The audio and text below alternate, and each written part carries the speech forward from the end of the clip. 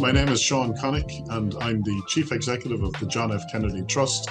And we operate the Dunbrody Famine Experience and the Kennedy Homestead. We're based in New Ross here in County Wexford. Hi, my name's Steve Davin. I'm the Director responsible for strategic partnership with Direct Access. Direct Access was set up in 2004 as the Accessibility and Inclusion consultation day. So what that means is that we work with um, organisations, whether museums, tours and venues and so on, to look at where they are in terms of accessibility and some of the ways that they can look at improving access. I'm Chris Small and I'm the head of visitor operations at St Paul's Cathedral. The cathedral's mission is to allow as many people as, as possible to enter the building, experience it for various purposes, whether that's sightseeing and tourism or whether it's worship. And it's a 300 year old building, so that comes with the, the expected challenges that, that many similar institutions face. And my name is Zoe Willis, and I'm the schools officer here at Canterbury Cathedral. Canterbury Cathedral is, of course, a very old medieval building. We want to welcome visitors from everywhere of all abilities and all accessibility, but it can sometimes be quite difficult with a building that's as old as this.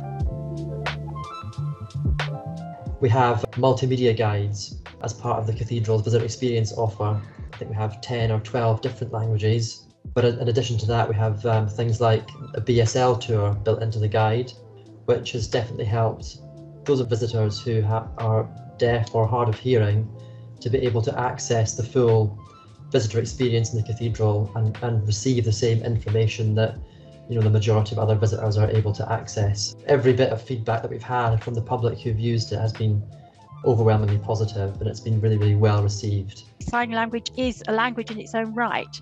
So we worked with ATS to create a tour that gives not only a, a, background to the cathedral but also provides a really good wayfinding tool. By using tools like this, it means that people can actually visit the cathedral when they want, access the cathedral at their own speed, and make sure that they're covering their own interests.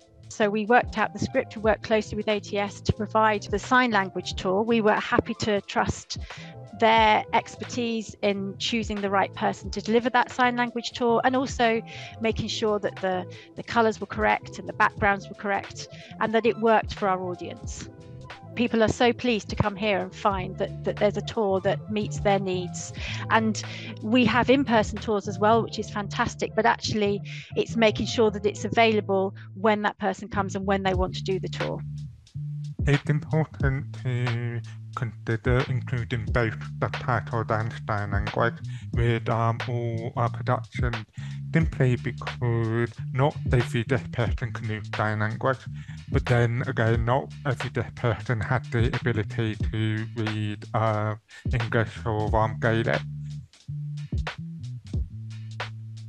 We do audio descriptive tours for the public as well. The guides will take you around the cathedral at your own pace, and they're trained in describing the different elements of the cathedral, allowing you to touch some of the marble sculptures and explain those to you, taking you to areas of the cathedral where the sounds and effects are different if you speak in certain places, to really give people who are not able to see uh, as much of the cathedral as other visitors might be able to, to give them a full experience of the atmosphere of the cathedral.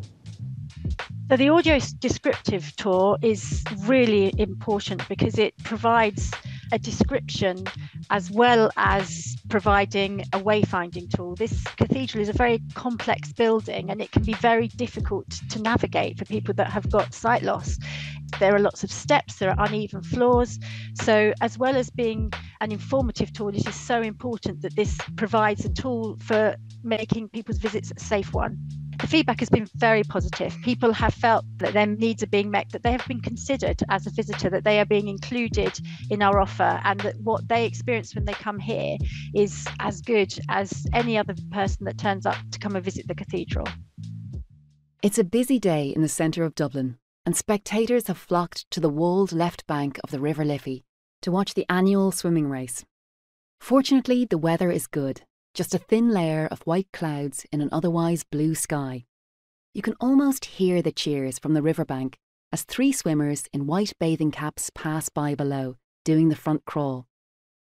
The artist Jack Yeats uses long, loose brush strokes for the river, which flows diagonally from the bottom right corner of this canvas, then disappears towards the centre middle ground, just beyond the bridge. During the ship's construction, I would have been consulted widely in terms of accessibility on the ship, how accessibility was going to operate on the vessel itself, uh, and whether or not maybe you know it was going to be a stair uh, lift or whether it was going to be an actual physical lift that would go onto the, the ship itself. And so, from day one uh, and from the outset of the design, the ship was designed with accessibility to the fore. Uh, 2011 been the most uh, recent update to the visitor centre and its redevelopment. The building itself has wheelchair accessible toilets, obviously. Uh, it has lift to the uh, restaurant, which is on the first floor, uh, and access to the ship is on ramps uh, getting onto the vessel and then on the ship itself. We recently, actually, only in the last four years, updated the passenger lift on the ship itself, and that's used by families with prams or used by elderly people uh, and used by people in wheelchairs. So the project itself is fully accessible. It's useful to actually consult with uh, deaf people in order to understand what their perceptions would be or what would be best for each situation. You know, engaging with people with disabilities, someone like myself would know in seconds uh, how to improve or maybe make a suggestion as to how to ensure that access is improved into a lot of these sites. So we as a cathedral have uh, reached out to um, try and get advice on and worked with visitor panels to try and work out what we need to be doing um, from the people who are actually looking for that offer when they come and visit this place. It's absolutely vital to consult with the people that this affects because without actually having their voice, how can you get it right? It's a no brainer for your organisation to introduce these kinds of access tours because you're going to be able to reach a broader audience. And for all of us who work in visitor experience, the idea is that we want to be able to welcome as many visitors as possible and to experience these special places in different ways. I'm absolutely sure that audio descriptive tours and BSL will be really, really well received by your visitors as they have been here at St Paul's Cathedral try and find somewhere that's that's got comparable offer to you so you can see how what best practice looks like and how different people have tackled the issues. And then i would find a trusted partner to work with somebody that you know can actually um, be an expert in all areas. You're an expert in your building but you might not necessarily be an expert in providing audio description or sign language and so you need to work with a trusted partner work that needs to be done within the sector to make people aware that this is a huge market that's there. Um, if you're able to advertise that you can facilitate and provide uh, uh, tours that cover um, the various forms of disability through the various systems. Uh, and um, I think that there's a market there that would cover the cost and the outlay. Disability can be um, quite broad because it ranges from people with visual impairment, uh, people with mobility impairment, to um, hearing loss, neurodiversity, and everything up in between. So quite often organisations they're not quite sure how they may start when they start thinking about accessibility.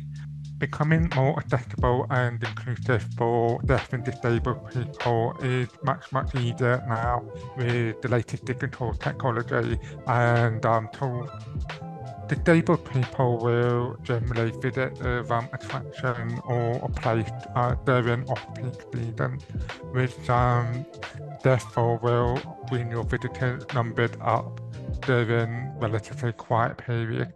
You know, this is a conversation that's starting now that will continue uh, over the next number of years and in maybe five or ten years we'll be very proud of what we've achieved from an inclusion an inclusion and an accessibility stance.